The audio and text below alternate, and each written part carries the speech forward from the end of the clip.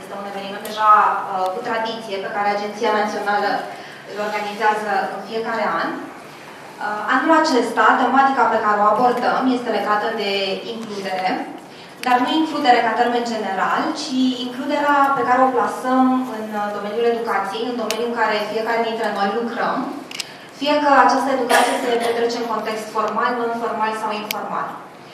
Uh, vă invităm să vă bucurați de aceste două jumătăți de zile, să interacționați, să vă cunoașteți între voi, să vă lăsați inspirați de, de experiențele pe care le auziți, de oamenii pe care îți veți cunoaște sau îi veți, uh, îi veți revedea și vă dorim, vă dorim o conferință cât mai fructuoasă și vă dorim să învățați lucruri noi și să le dați mai departe, așa cum este și uh, motoul conferinței noastre. Uh, în cele ce urmează, uh, am să predau legătura lui Adrian, colegului meu, pentru a vă introduce uh, dragilor noștri invitați. Mulțumesc! Am provat legătura, mulțumesc frumos, Sebastian Lobozina, Uh, e foarte confortabil când uh, prezintă celălalt introducerea, pentru că eu aș fi început cu, cu o glumă, să vă spun că de fapt nu suntem la o conferință de valorizare și că participăm la o filmare. Uh, este o nouă filmare la Frumoasa și Bestia.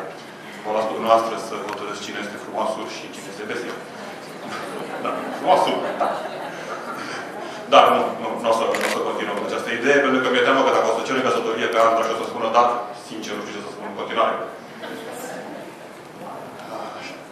Așa cum am obișnuit din uh, anii anteriori, avem alături de noi uh, reprezentanții instituțiilor care ne sunt aproape în tot ceea ce încercăm să facem și să transformăm România prin învățare. Și aici mă refer la Ministerul Tineretului și Sportului, reprezentat astăzi de domnul Andrei Popescu, secretar de stat, uh, reprezentanța Comisiei Europene, reprezentată astăzi de domnul Vansan Lambot, care este coordonatorul echipei de informare și comunicare a reprezentanței, de Augustin Mihalache, pe care sunt convins că îl cunoașteți cei care au participat la conferințele anterioare, consilier de afaceri europene în cadrul Ministerului Educației Naționale și cercetării științifice și Monica.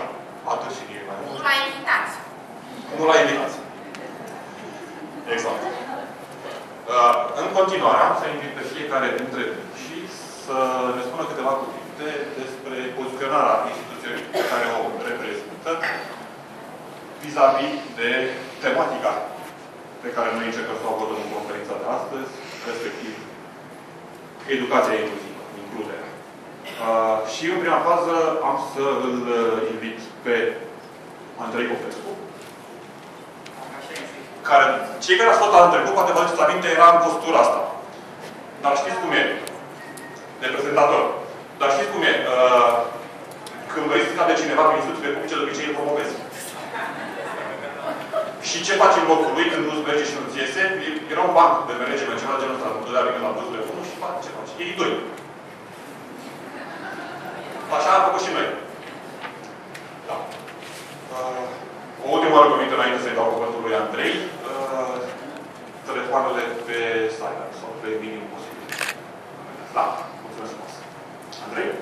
Uh, bună ziua, mulțumesc mult domnule Adrian Georgescu, că înțeleg că ăsta este protocolul în această zi.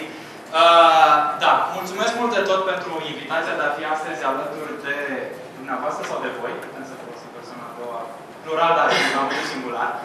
Uh, și mă bucur, uh, deși că, de faptul că, deși sunt în cu tot o altă poziție, sunt în continuare aici, pentru că ia multa conferință de valorizare la care particip din diverse poziții și ceea ce mi se pare că face foarte bine această conferință este genul ăsta de activitate. Adică te ia de acolo de pe un scaun și te aruncă undeva aici, în mijlocul uh, acțiunii. Și uh, cred că uh, ăsta este unul dintre aspectele uh, care dă valoare adăugată unei conferințe de valorizare, pe care se numește de valorizare. Da? Toată observ că avem un nou setting. Este prima oară când suntem în acest setting. Avem și două, uh, avem și două uh, coloane între noi. Și cred că este foarte relevant pentru tema pe care o să discutăm anume uh, în includerea socială. Da? Pentru că includerea socială presupune depășirea unor obstacole. Acestea, acesta este probabil între obstacole pe care va trebui să le depășim fizic astăzi și mental, probabil, în zilele următoare. Iar acum, în ceea ce privește provocarea legată de cum se poziționează instituția pe care o reprezintă astăzi Mândria, aici, ce anume Ministerul Tineretului și Sportului, am o întrebare. Câți dintre voi știu că există o strategie națională pentru tineret? Puteți să ridicați o mână sus. E bine. Trebuie să recunosc că sunt foarte plăcut surprins. De obicei, când pun această întrebare, uh, mai trebuie să o pun încă o dată. Nu sunt sigur dacă lumea chiar a înțeles. Uh, bun. Uh, pentru că văd că sunt atât de mulți experți, eu cred că deja mi-am încheiat rolul. Vă mulțumesc. Uh, dintre cei care știu că există o strategie națională a tineretului, știți care sunt cei patru piloni a acestei strategii? Primul este cultura și învățarea non-formală. Al doilea este uh, sportul, uh, sănătatea și recrearea. Al treilea este uh, participarea tinerilor în comunitate și voluntariatul. Iar al patrulea uh, este munca și antreprenoriat. Unde este includerea socială aici? Peste tot. Vă foarte mulțumesc. Peste tot, pe lângă, pentru că pe lângă acești piloni principali, mai există o prioritate transversală care este includerea socială a tineri. Și vă foarte mulțumesc pentru, uh, pentru intervenție, pentru că atunci când vorbim de includere, uh, cred că foarte des ne gândim mai degrabă la, uh, la acele aspecte în care, dacă vorbim de tineri, uh, ei se află într-o situație un pic mai particulară și un pic, uh, cu oportunități un pic mai reduse. Dar includere înseamnă nu doar să ne ocupăm de acele aspecte care presupune să îi punem într-o situație un pic mai favorizată, dar să le răspundem și tuturor nevoilor și aspirațiilor acestor. Uh, iar în momentul în care vorbim de includere socială, nu putem să vorbim numai de partea socială. Trebuie să vorbim despre tot ce înseamnă modul în care putem să activăm acești tineri. Prin cultură, învățare non-formală, sport, recreere, participare, voluntariat, muncă și antreprenoriat. Toate aceste aspecte se regăsesc acolo.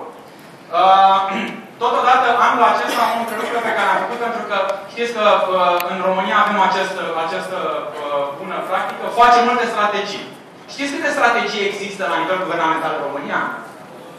100? Cine dă mai mult? 101, 146. Nu știu, am fost acum vreo lună și ceva la, uh, la o dare de seama acestor strategii. Era câte una pentru fiecare zi anului. 365. 365. Da? Bine, dintre ele, multele sau, multe dintre ele s-au încheiat și nu mai știm ce se întâmplă cu ele. Iar marea majoritate nu sunt bugetate sau nu un plan de acțiune. Uh, deci avem talentul de a face strategii, însă e foarte important să vedem și cum le punem în practică. Iar anul acesta, ceea ce am încercat să facem la Ministerul Tineretului și Sportului este, dacă tot avem o strategie, hai să și operaționalizăm. Hai să facem și un plan de acțiune și un plan de măsuri. Iar la acest lucru am lucrat destul de mult și destul de intens. Și vă invit să intrați pe site-ul Ministerului Tineretului și Sportului și să vedeți cam ce s-a întâmplat acolo, cu atât mai mult cu cât trebuie remodificat acel HG pentru strategie, astfel încât să includă și planul de acțiune și planul de măsuri, care să fie și bugetat. Uh, iar, bineînțeles că acolo unul dintre aspectele foarte importante este legat tot, tocmai de acest lucru, apropo de includerea socială și cum putem ca să potențăm, să ne uităm la tine, de fapt, ca la, un, ca la un, o categorie socială care este plină de potențial, plină de oportunități, care vine și aduce, nu consumă. Este o investiție, nu este o cheltuială. Mai ales că vorbim de uh, tinerii care se află la o vârstă la care pot să contribuie foarte mult în societate. Și nu în ultimul rând, și aici uh, o să mă opresc, uh, chiar în acest moment am lansat de curând împreună cu Ministerul Muncii și uh, ANEOFM un curs uh, care are de fapt o parte de prezentare a ceea ce se întâmplă cu privire la tinerii miți, partea aceea de fonduri structurale, uh, în care încercăm să aducem în special organizațiile neguvernamentale de și pentru tinere, Uh, să-i punem față în față cu cei care vor gestiona aceste fonduri, astfel încât să se prezintă un pic care sunt oportunitățile pe care pot, de care pot aceștia să beneficieze uh, și pentru că există, este în proces de consultare modul în care, uh, modul în care acest lucru ar putea să răspundă din ce în ce mai bine tineri. Mă opresc că aici sunt multe, multe alte lucruri care se mai întâmplă la orice minister care se respectă. Însă, cei interesați de acest, de acest eveniment, la fel sunt invitați pe www.mds.ro, unde veți găsi mai multe informații. Termenul limită de înscriere este, uh, este 7 mai. Și cu asta mă opresc, doar vreau să vă readuc aminte. Includerea și absolut orice înseamnă politică de tineret, tinerii egal investiții. Vă mulțumesc!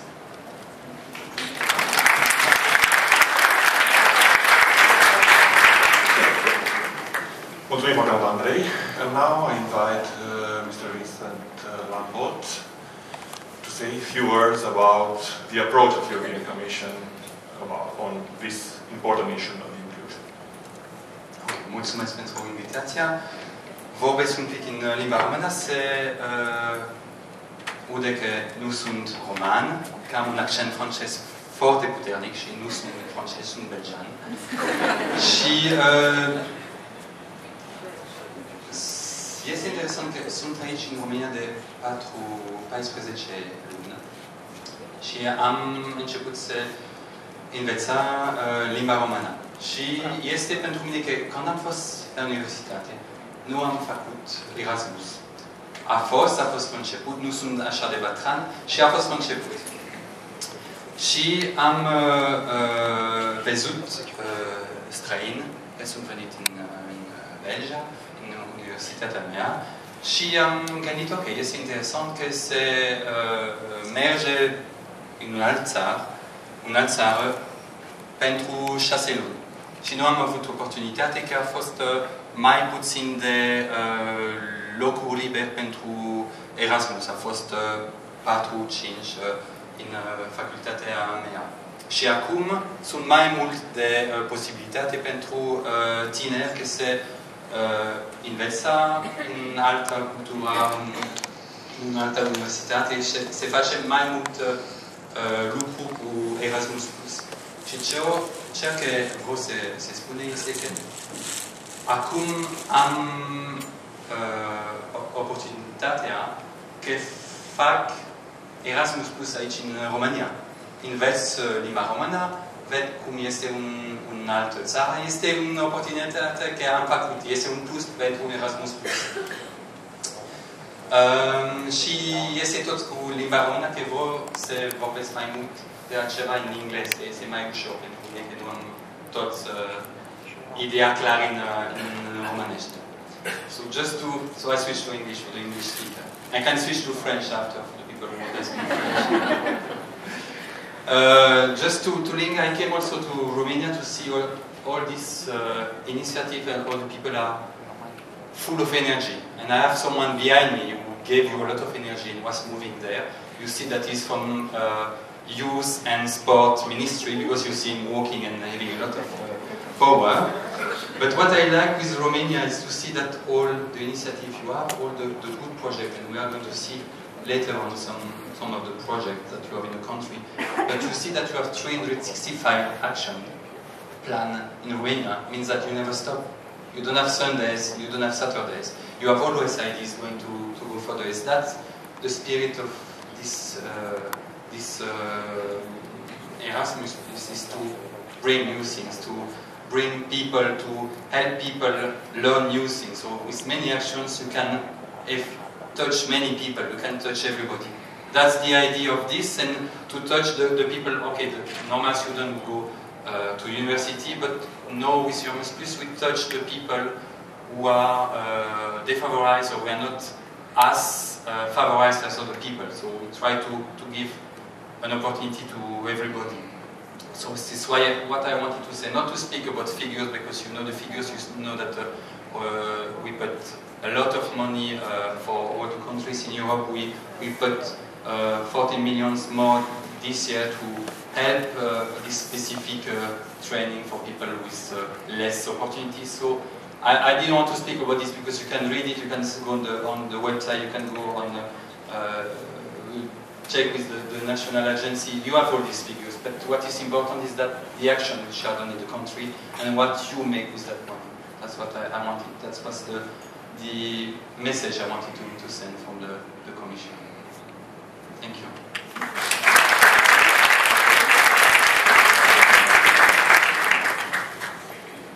Mulțumim foarte mult, pentru lecția de limba română și pentru faptul că ne-ai adus aminte tuturor încă o dată că toți suntem partea familiei Erasmus Plus prin ceea ce facem în fiecare zi. Îl invit acum pe Augustin Mihalache să ne prezinte punctul de vedere al Ministerului Educației. Mulțumesc, domnule director adjunct, Adi. Bună ziua, doamnelor și domnilor, stimate domnul secretar de stat, Andrei. Mă bucur că am avut această intervenție din partea reprezentantului Comisiei Europene și, de asemenea, doresc să mulțumesc pentru invitația în mod special, la director, Monica. Îmi face de fiecare dată o plăcere deosebită să, să fiu alături de dumneavoastră, în fața dumneavoastră. Sper că mă vedeți majoritatea dintre dumneavoastră. Este o onoare pentru mine să reprezint Ministerul Educației Naționale și Cercetării Științifice la acest eveniment care are deja o tradiție în spațiul Erasmus Plus, eveniment care valorizează rezultatele obținute în cadrul proiectelor europene în domeniul educației, formării profesionale, tineretului și sportului. M-am gândit foarte mult la ce a spus Adi despre faptul că Andrei anul trecut a fost printre, ce, printre gazdele dumneavoastră, iar acum ne, ne revenim cu sura de secretar de stat al Ministerului Tineretului și Sportului. Ne întrebăm cu siguranță cu toții din ce postură ne va putea anul viitor.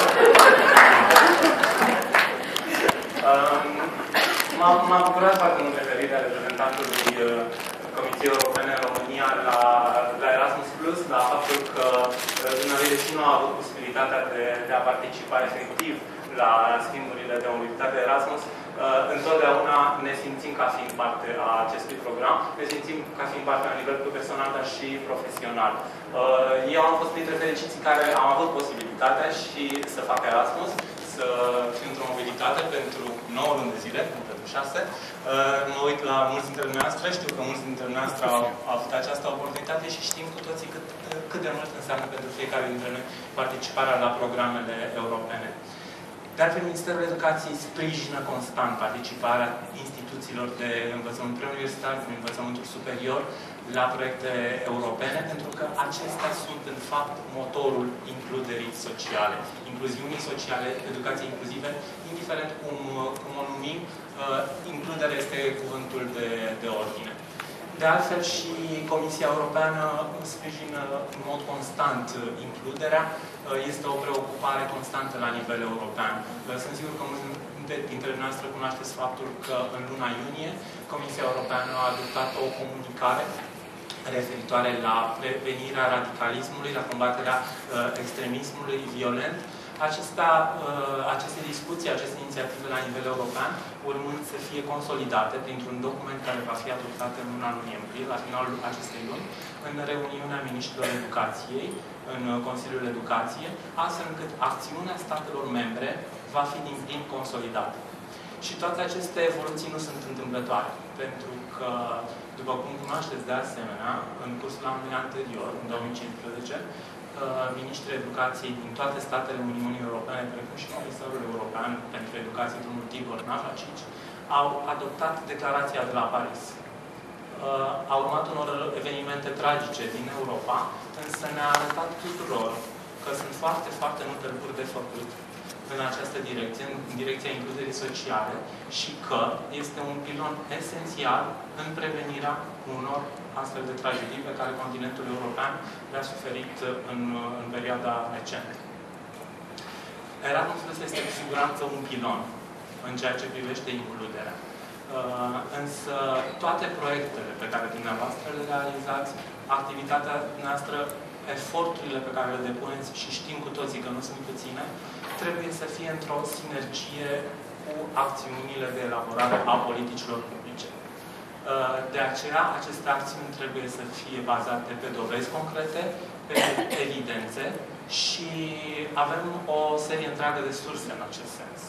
Mă refer aici la Monitorul Educației și Formării, care este o publicație anuală în care Comisia Europeană ne oferă informații despre acțiunile sistemelor de educație și formare profesională, în special în ceea ce privește competențele civice și includerea socială. De asemenea, sunt uh, o sursă inepuizabilă de informații valoroase, studiile euridice, care uh, ne oferă inspirație tuturor, ne oferă informații concrete despre activitățile realizate în sistemul de educație și formare profesională, nu numai din Europa, dar și din, din Uniunea Europeană, dar și din state terțe ale Uniunii Europene care sunt partenerele noastre și, de asemenea, sunt activitățile realizate de grupurile de experți. Revenind un pic la Erasmus+, Plus, la travestea noastră Erasmus+, Plus, trebuie spus că în anul 2016, uh, nici eu nu sunt un mare fan al cifrelor, dar cred că este important de, de menționat faptul că uh, am avut la dispoziție un buget de 400 de milioane de euro pentru realizarea de proiecte de cooperare transfrontaliere, foarte multe dintre acestea având ca și cuvânt de ordine, ca și prioritate, includerea. Și cred că este un lucru foarte important. În ceea ce privește evoluțiile pe care programul le va avea atât la nivel național cât și la nivel european în 2017, trebuie să vă spun că în cadrul Comității de Management al programului, unde sunt reuniți reprezentanții tuturor statelor membre care participă la program, precum și uh, statele partenere, 2017 uh, va fi un an important, vor avea loc evoluții și se vor propune noi inițiative. Una dintre aceste inițiative constă în schimburile virtuale, care vor completa deja acțiunile care se petrec folosind platforme online, uh, acțiuni de colaborare între studenți, profesori și școli. Am o senzație destul de stranie că am vorbit deja foarte mult. Uh, este o plăcere de fiecare dată să mă aflu alături de dumneavoastră. Mulțumesc mult încă o dată pentru invitație. Vă adresez felicitări pentru tot ceea ce faceți, sincer felicitări, și vă doresc mult succes în continuare în tot ceea ce întreprind.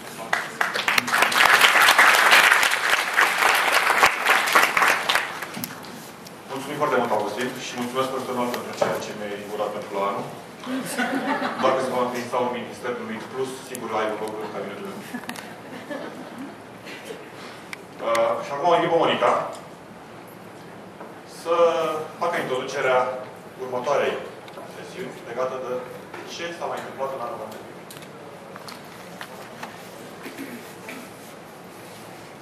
Eu am să încep prin a zice Bun venit membrilor familiei Erasmus Plus, prietenilor de familie ai familiei Erasmus Plus și celor care vor să intre prin alianță în familia Erasmus Plus, adică cei care vor să intre prin parteneriate Erasmus Plus și uh, au fost invitați astăzi să vadă cum este în familie de membri de familie.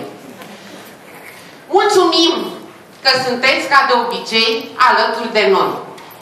Um, nu am să încep cu uh, prezentul sau cu trecerea în revista ce am făcut anul acesta, din contra, asta o să fie foarte puțin.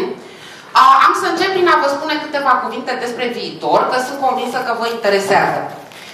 Um, în uh, preluând uh, microfonul de la Augustin care spunea că anul 2017 din perspectiva programului Erasmus Plus e important, el este important pentru că pentru prima dată după 3 ani, 14, 15, 16, când bugetul a fost uh, relativ același sau a avut o creștere foarte mică, în sfârșit o să vedem o creștere substanțială. Substanțială, așa un 17%, da, e ceva a bugetului pentru toate domeniile și preuniversitar și un pic mai puțin la tineret, dar domeniile de educație și formare uh, au creștere vizibilă de buget, lucru care evident că o să se vadă în mai multe proiecte aprobate.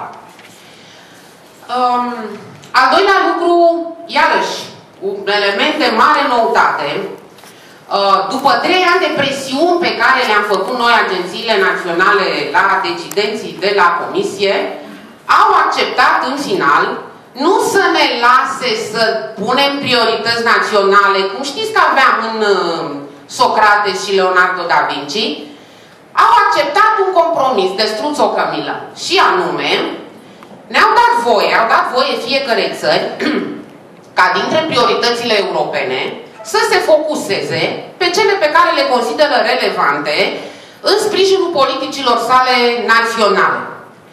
Um, în consultare cu Ministerul Educației, pot să vă spun că nu o să vi le citez pe toate, noi am ales ca prioritate orizontală, în acord și cu ce prezentare veți vedea în continuare, incluziunea, deci educația inclusivă, și după aceea mai sunt și priorități pe sectoare.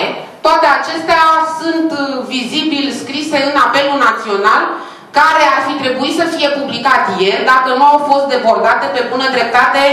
A, zice Andra că este publicat apelul național. Prin urmare, le puteți vedea acolo prioritățile exact toate, și transversale și verticale. Ce înseamnă că sigur vă interesează? Adică ce e aia, că avem prioritate uh, europeană vizată cu pregătere, cu pregătere în context național.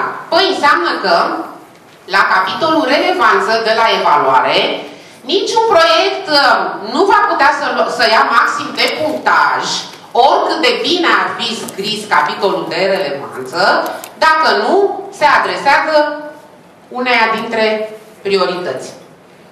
Asta este, vrem să ajutăm pe cei cu oportunități mai puține, ca măcar prin proiecte să fie incluși în educație.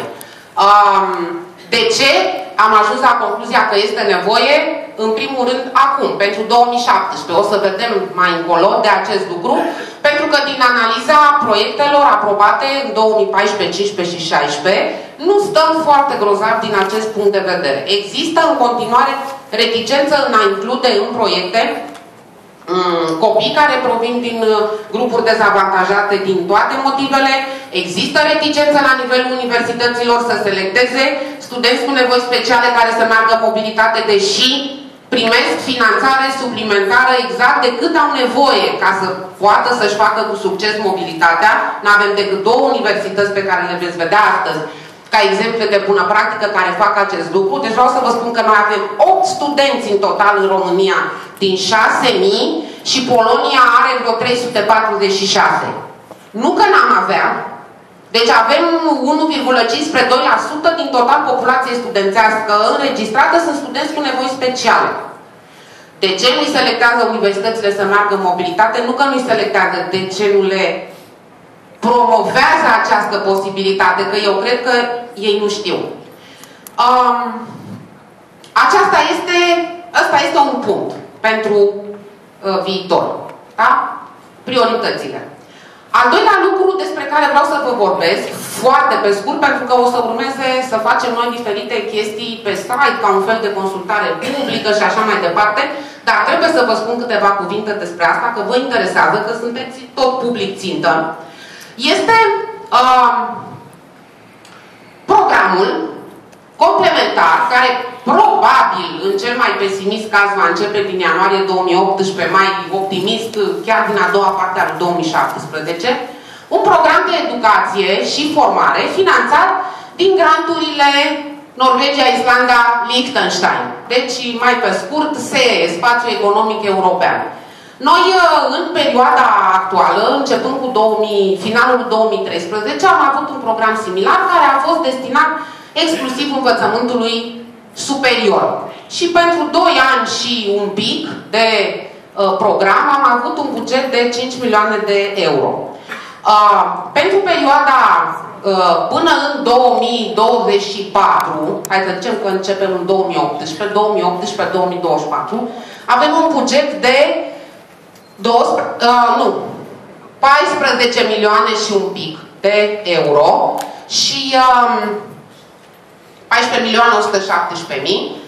Um, autoritatea de management e Ministerul Fondurilor Europene, ca pentru toate uh, programele finanțate de donatorii din spațiul economic european și operatorul de program suntem tot noi, așa cum a fost pentru programul uh, destinat învățământului superior. De data aceasta însă vom viza încă două sectoare ale educației, vorba de învățământul preuniversitar și formarea profesională inițială, de fapt, VET. Um, cum uh, va fi desenat programul, ținând cont de câteva principii, uh, să fie complementar cu Erasmus+, Plus, deci vom încerca să finanțăm prin acest program în învățământul preuniversitar la nivelul formării uh, VET, uh, în învățământul superior, în primul rând, lucruri pe care le-ați vrea, dar nu se pot finanța din Erasmus+. Plus că nu și-au mai găsit loc în nou program. În același timp însă, universitățile să nu dispere, pentru că linia de program destinată mobilităților, studenți și profesori, va continua. De ce intră la principiul de complementaritate cu Erasmus Plus? Pentru că acum, pentru Erasmus Plus, pentru cei care știu, maxim de bursă studențească este 500 de euro, 700 dacă au dosar pentru bursă socială, iar asta este complet insuficient pentru o țară ca Norvegia. Deci, pentru Norvegia, Islanda și Liechtenstein, programul și în faza actuală și pentru viitor prevede ca bursa să fie de 1200 de euro pe lună pentru studenți, plus o sumă lamsam pentru transport. Uh, deci asta o vom continua. Uh, alt principiu va fi utilizarea costurilor bazate pe unități, la fel ca în Erasmus Plus, pentru că Asta a fost marea simplificare pe care Erasmus Plus a adus-o în viața tuturor, că să știți că nu numai a voastră, dar și a noastră. Uh, ca evaluator de rapoarte finale și verificatori și abordarea instituțională, care este aceeași ca în Erasmus Plus și o vom continua, în sensul că nu, nu vom finanța candidaturi individuale. Activitățile posibile în proiecte, dacă o să vă uitați la ele, o să le recunoașteți că sunt tot aceleași, că dacă vrem să păstrăm principiul de finanțare bazat pe costuri bazate pe unitate, nu prea avem ce să inventăm altceva. Mobilități, reuniuni, activități de formare, învățare, ce știm că se poate în Erasmus Plus, dar ca să vă dau un exemplu, ce am vrea să facem, dar nu se mai finanțat în Erasmus Plus. Pentru universități, Erasmus Plus nu mai vrea să finanțeze proiecte de parteneriat strategic care au doar nivelul de cooperare și să organizeze uh, intensiv program școli de vară. Îi obligă pe învățământ superior să aibă proiecte și cu, așa zisa, cu componenta de produse intelectuale. Dar universitățile vor să facă și proiecte doar de schimb de bune practici, cooperare pentru schimb de bune practici și școli de vară cu studenții lor. E, Erasmus Plus nu le mai dă voie, noi o să le dăm voie uh, o să le finanțăm din acest program. Asta așa, ca să vă dau exemplu de ce am vrea să facem și nu putem din Erasmus+. Plus. Um, cam atât despre, cam atât despre program. Deocamdată este la faza de avem foarte multe idei, el va trebui să fie pus pe hârtie când vom avea un draft de design, să știți că o să-l punem pe site și o să facem un exercițiu transparent de consultare publică fiindcă așa este frumos. Și, mă rog, sperăm că dacă ne mișcăm foarte repede, poate, poate putem să avem col la primul apel la începutul toamnei. Dacă nu, oricum, la începutul 2018 va fi operațional. Și acum, gata, am terminat cu viitorul. Să ne referim puțin la prezentul anului 2016. Nu o să fac o trecere în revista a lucrurilor pe care le-am făcut noi. Uh, un singur lucru mi se pare important în uh, legătură cu subiectul conferinței de astăzi este faptul că ne-am hotărât să avem propria noastră strategie de includere. Uh, decizia Comisiei de a ne lăsa să avem priorități naționale pe care să le extragem dintre cele europene ne-a venit ca o mănușă. Noi n-am știut când se va întâmpla chestia asta. Uh, deja lucrase la strategie, era desenată, nu prea știam ce mijloc avem de implementare, pentru că știți, cu convingerea trei ani n-a mers. Adică noi degeaba facem promovare la uh, aplicanți să se ocupe și de acest aspect. Că doar cu convingerea n-a mers. E, acum o să meargă cu prioritățile. Uh, și pentru ca să vedeți exact în ce constă această strategie, la care se muncește de la sfârșitul anului trecut și care în sfârșit a fost definitivată, o să las pe colegul nostru, Nicușor Ciobanu, pe NIC, de la Departamentul Comunicare, să facă prezentarea strategiei.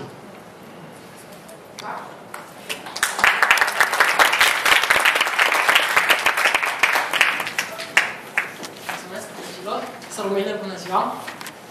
misiune grea după greutatea vorbelor vorbitorilor mei și mai ales după veștile bune și frumoase pe care le-a dat uh, Monica, vești care dat mă bucură și pe mine.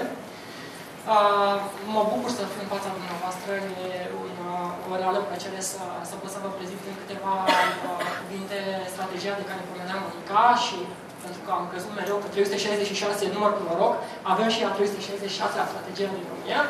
Strategia de includere la nivelul Agenției Naționale Erasmus+. Câteva vorbe de cum a pornit acest demers al nostru în clipa în care am dat drumul bulgărului să-l rostogolim în Africa într-o formă cumva coezivă această strategie, deși dumneavoastră, în calitate de beneficiar, cu siguranță știți că ea a fost o prioritate și a ceea ce a însemnat vechea perioadă de finanțare 2007-2014, mai cu seamă Erasmus Plus până la finalul anului 2020. Ea acum îmbracă o formă cumva coezivă, coerentă. Vă vedea mai devreme, Monica, de faptul că vom avea secțiune pe site pentru SRE.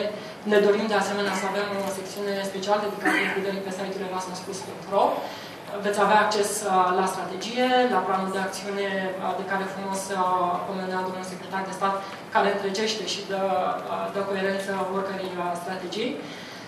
Până atunci însă vă spuneam de cum a pornit demersul acesta al nostru și îmi vine în minte o scurtă poveste care dă o formă frumoasă și poate metaforică strategiei, dar o să vedeți că are coerență.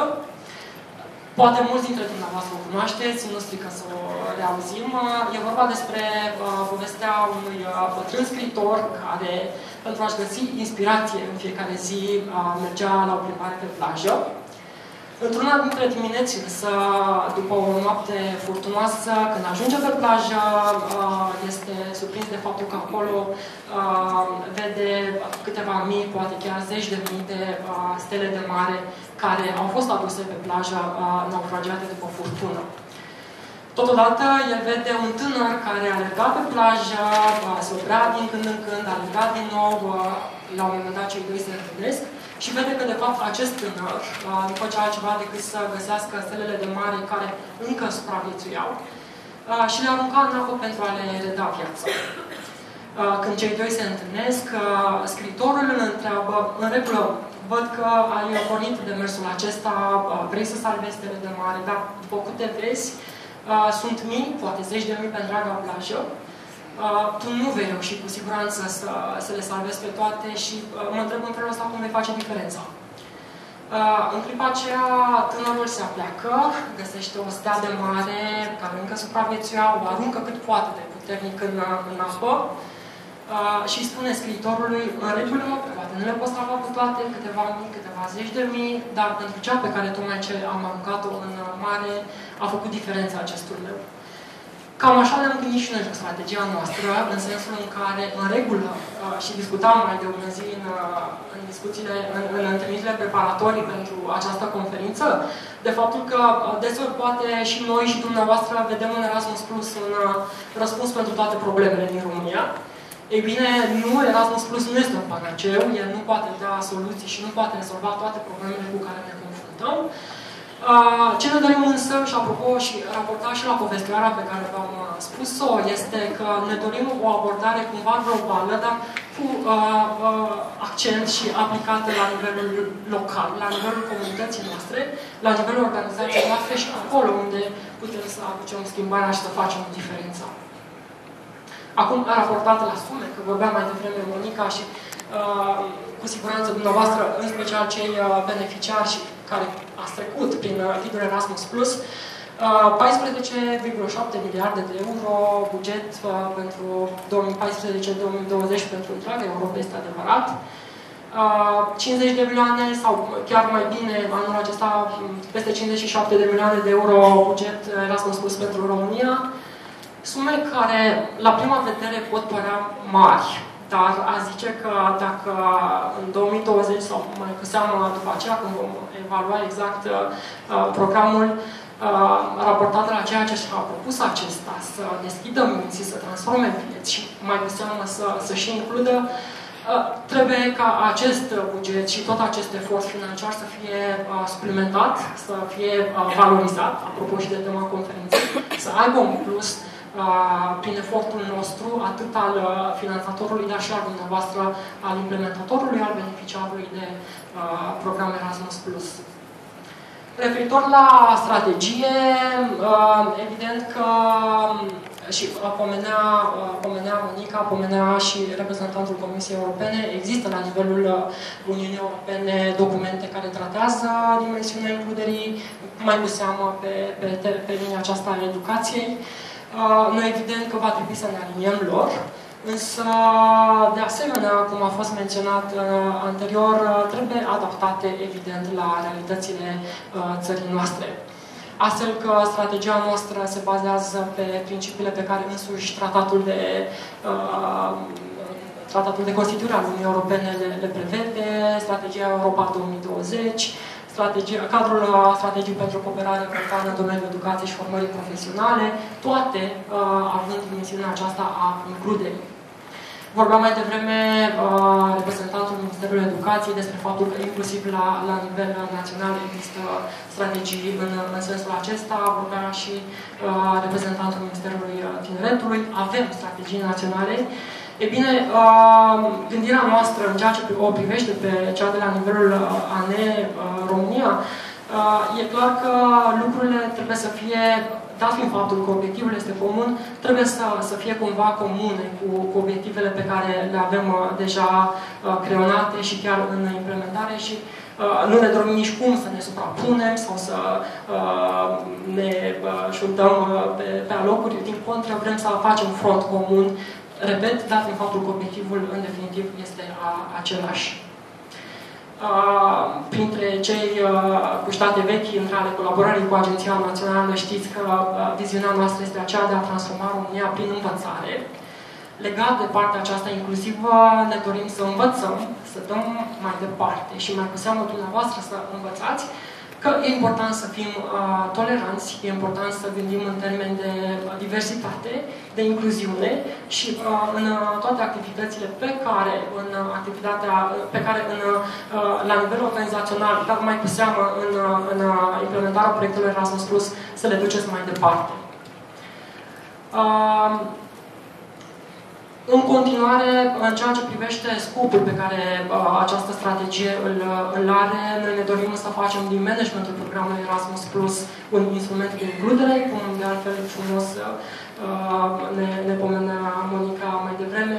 Iată, de anul viitor, uh, punctaj maxim pentru cei care abordează uh, această tematică în proiectele lor ca obiective foarte pe scurt, pentru că înainte mi s-a făcut un instructaj și nu citești de pe slide-uri și nu ești foarte lung în, în discurs, o să caut să, să fiu succint. Uh, obiectivele noastre sunt să creștem numărul de proiecte care abordează dimensiunea includerii, dorim să creștem calitatea acestor proiecte, celor care sunt deja în implementare sau care vor urma să fie uh, depuse.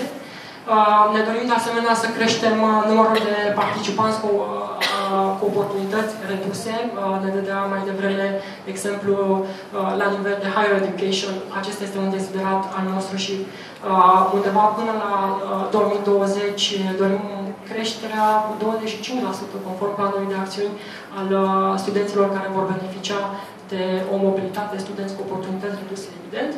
Și de asemenea ne dorim uh, uh, dezvoltarea unor instrumente de sprijin pentru cei care doresc să scrie, să implementeze și să ducă mai, uh, mai departe informații despre ce înseamnă programul Erasmus Plus și beneficiile pe care acesta le aduce.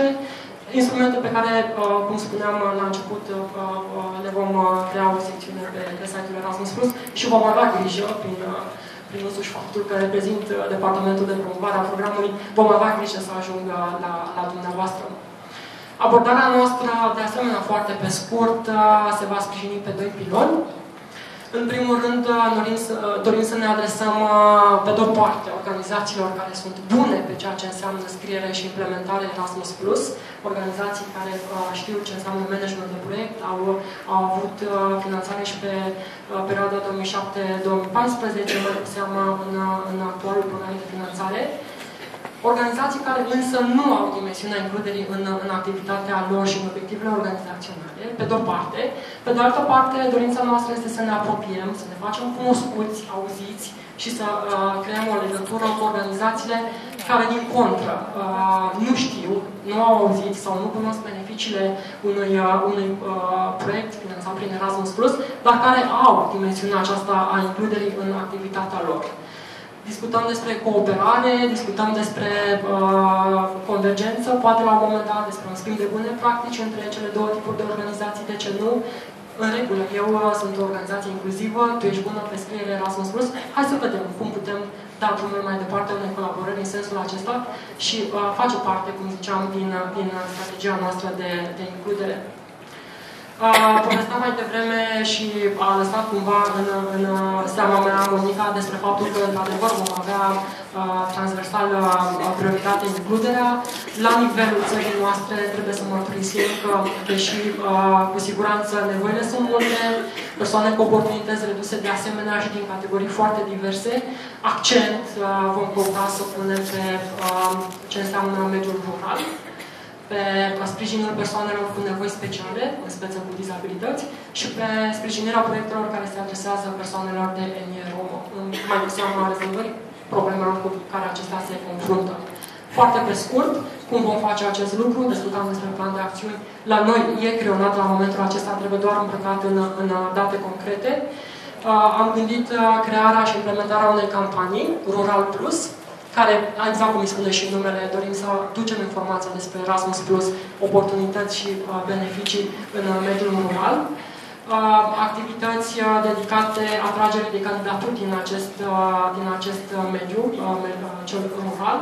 Ne sprijinim pe colaboratorii noștri uh, deja cu uh, vechime uh, sau cei noi, cei noi intrat în, în rețea, în speță pe formatori. Dorim să ducem atelierele de scriere proiecte Erasmus Plus inclusiv în mediul uh, rural. E o, o necesitate și am, uh, am preluat lucrul acesta.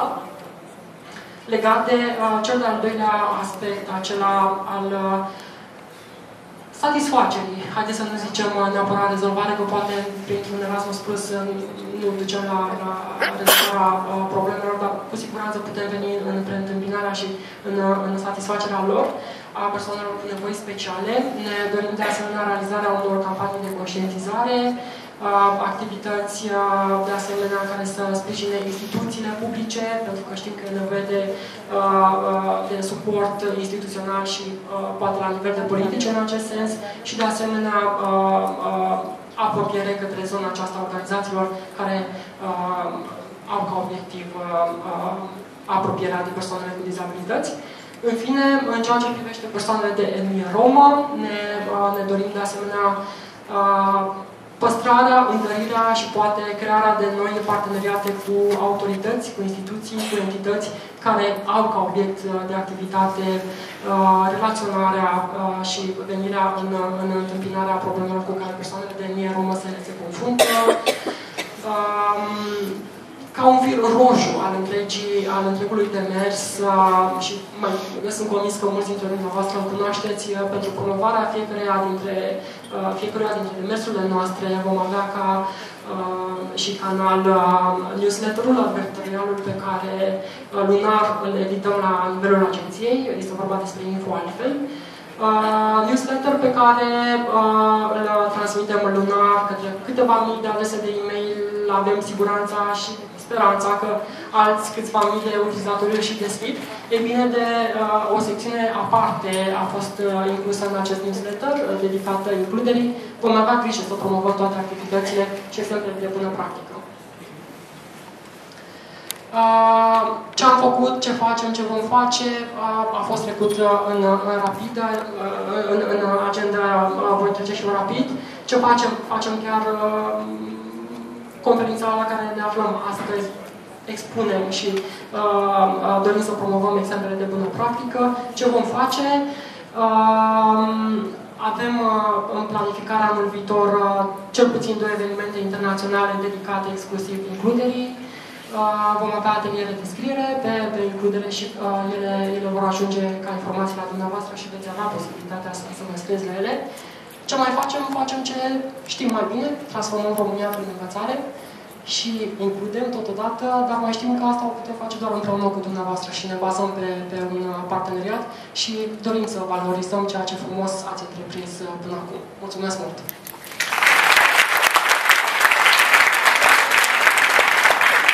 Mulțumim foarte mult, uh, Nic, Nicușor, pentru prezentarea strategiei, uh, strategiei uh, Agenției Naționale pentru Includere.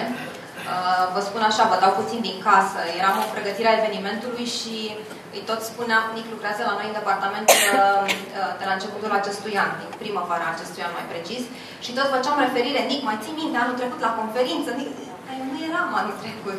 Da, da, impresia mea sau impresia noastră a colegilor era că nu suntem la prima conferință pe care o organizăm împreună.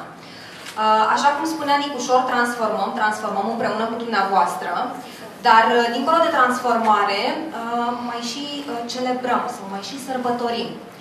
Iar anul acesta, anul 2016, a fost unul în care am sărbătorit. Știți ce am sărbătorit? Știe cineva?